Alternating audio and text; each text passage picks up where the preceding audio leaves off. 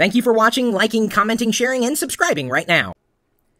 I have been blogging at chris.pirillo.com f- since January 2002. And those archives are still there. You can find them. It's a different life.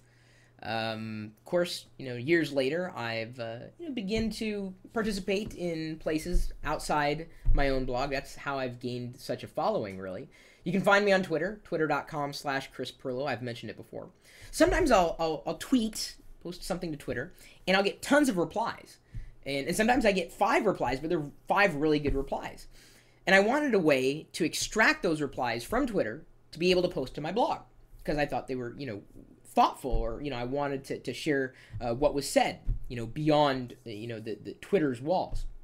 So uh, I tweeted uh, about 10 days ago that I was looking for a way to blog my Twitter replies. And Alex Zakovic, who's known as Who's the Man on Twitter, uh, approached me and he said, Hey, is this what you're looking for? It's a rough prototype. I'm like, Yes, that is.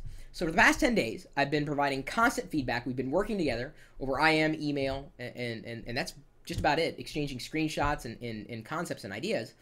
And now I'm happy to say that Twickie has launched, twickie.pirillo.com. Here it is. In fact, if it sounds familiar, uh, the namesake is, you know, kind of like Wicket. Only it's Twickie, T-W-I-C-K-I-E. And the little icon, that's Wicket. I painted that. Well, I didn't paint it on the screen. That's just the icon of photo of. The... Anyway, it is, as far as I can tell, the easiest way to archive a Twitter response thread. What does that mean? Okay, I tweet something, let's say, and I have tweeted in the past. Using this tool, I can extract those tweets from Twitter, much like these people have been just using this tool in the past couple of days. Uh, over on Louis Gray's blog, he's doing an example. He's showing people, hey, this is a new uh, uh, website. He got all those responses for this particular tweet right here, pulled them out in text to post to his blog. So now he's got permanence on his blog. You can do this with MySpace or really any place that can take HTML. And I'll show you how to do it in a second. Uh, Robert Scoble did the same thing. Of course, he gets tons of all these responses here were happening on Twitter. I mean, look, let me zoom in. These responses were on Twitter, and he was able to use Twickie to pull them out and then post them to his blog. He's not the only one. You might know Bwana of Bwana.org or Bwana.tv. These are the responses he pulled out of Twickie. These are the responses he got on Twitter. So he's bridging the gap. All these people actually are bridging the gap between Twitter and their blog, wherever you happen to be blogging. Uh, you don't need to install anything, okay? You don't even need to have a blog. If you want to follow the replies that you get for any particular tweet, you can use Twickie. So I'm going to log in here. You just pass it your Twitter credentials. Uh, we don't actually look at them. It's passed in an encrypted fashion directly to Twitter. Uh, the session is stored locally on your computer uh, in a cookie. We don't know who you are other than generic information because we use Google Analytics. So once you've logged in, you get the list of your 50 most recent posts or your 50 most recent tweets. So earlier, uh, I posted something about the death of Twitter due to auto following system. I just pressed the get ats. There's two buttons there. But if I press this one, it will sort the responses in, as you hover over, oh, sorry, I moved my mouse, by newest first. The other one will sort responses by oldest first. So you have sorting options. So these are responses I got here uh, from, uh, from a few people. Uh, that uh, responded to that particular tweet. Now, I'm not saying that you're going to get a lot of responses. A lot of the tweets that I make don't get any responses at all, but then some of them do. I mean, especially when I'm asking a question or just passing along an interesting link. So here are your export options. You've got the ability to copy the HTML or copy the full. Now, what's the difference? HTML relies on CSS. Now, if you don't know anything about HTML or CSS, ignore those first two options. You want to copy full. That will copy in all the formatting so that it will look beautiful no matter where you post it. You have a MySpace page? Fine, post it to your blog on your MySpace page. You can post it anywhere that you can paste HTML. That's all it is. And yes, don't worry, widgets are coming, which means it's going to be even easier for you to use. But now uh, you could use it to track uh, your own replies if you get a lot of replies, or maybe you don't, or maybe you know you got a lot of replies uh, for one particular tweet. You can follow that, uh, th- that particular thread as well. In fact, let me see if I can find one that doesn't have any responses, because let me tell you, there are a few of my. Oh no, I guess uh, a couple people responded here. They're not necessarily related because some people didn't reply directly to the tweet they meant to be replying to, but you know, this is better than what we had before, which was nothing. Um, you can switch searches uh, if you want. You can search by a, a, tweet ID, which is the number that's at the end of any uh, tweet permalink or Twitter permalink, and then you can get the replies for that.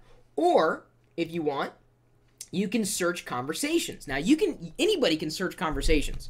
Uh, you don't need to be logged in uh, to your account to, to, to view conversations. Uh, you can view conversations anywhere. In fact, if I press get conversation from this sample tweet ID in a couple of seconds, it will go and it will retrieve the uh, uh, conversation thread, which was uh, between Alex and I earlier. We needed a sample, so we were talking about our dogs. So we were going back and forth back and forth just to show people if I if I copy and paste this link and send it to you on on the on the chat room, you'd be able to see it. So you can try that if, if you want. So you can pick up on other people's conversations and yes, export those conversations as well. I've seen bloggers do this. What they'll do is they'll screen cap their replies. And it's just messy. It's like why would you do that? Why wouldn't you just use like text? It's rich, you know? Well, because the option wasn't there. So uh, that is is pretty much the, the bottom line, or at least a high level overview of Twickie. If you are on Twitter uh, and you do get responses, no matter if you get 100 responses uh, frequently, or maybe you only get a few responses, maybe you only communicate with a few friends. Well, now, if you communicate with a few friends, you can still use this service. You can still extract those replies and take them elsewhere, post them to your blog. You can have entire conversations creating all this content on Twitter and be able to get to all of it and put it elsewhere, wherever else you exist on the web. I mean, I'm guessing that you guys have websites, right? I mean, domains are cheap, websites are easy. Post uh, Twitter threads to your uh, to your uh, websites, your blogs, wherever. Doesn't really matter.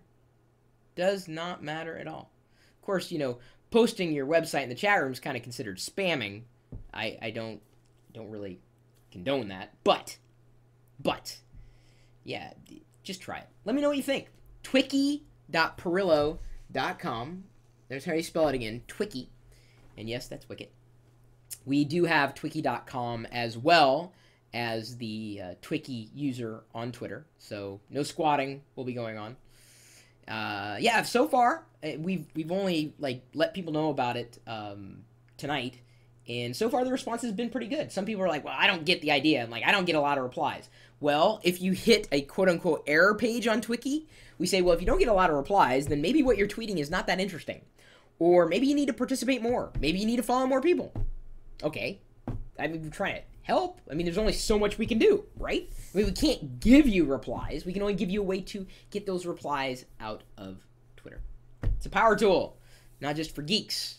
I mean, if you're into Twitter at all, you're going to like it. Well, at least I hope you're going to like it. Worth a shot. I needed it and I'm going to use it. So that's that's that makes me happy. And if anybody else is happy, great. Awesome. My email address is chris at pirillo.com. As I said, you can follow me on Twitter at Chris Pirillo. And you know that you can follow us on Geeks as well if you want. Uh, you can even copy and paste the uh, full HTML into Geeks. That's fine too. Um, because it's HTML. You can paste HTML uh, over on geeks.pirillo.com. So there you go. If you don't have a blog, you can get a blog there. That's easy. You can post it on your profile, a blog there, forum threads, doesn't really matter. Give it a shot. I'd be really interested in what you think. So uh, feel free to pass it along, uh, any resource that I happen to mention. Then you're also welcome to stop by the chat room, uh, which is typically Talking Tech, 24 hours a day, seven days a week, in conjunction with this live video feed. It's always on at We'll see you later.